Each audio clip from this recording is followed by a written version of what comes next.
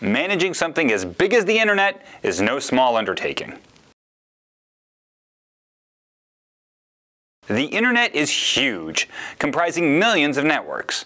To make communication feasible, subnets break large networks into smaller, more manageable networks that run more efficiently. Each subnet is a logical subdivision of the bigger network.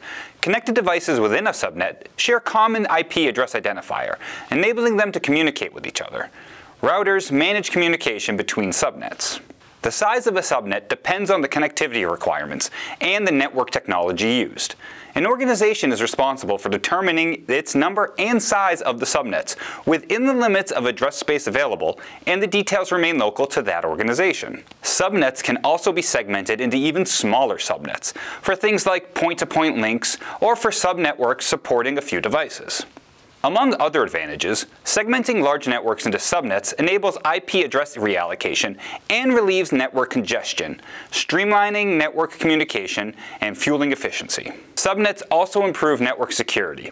If a section of a network is compromised, it can be quarantined, making it difficult for trespassers to move around the larger network.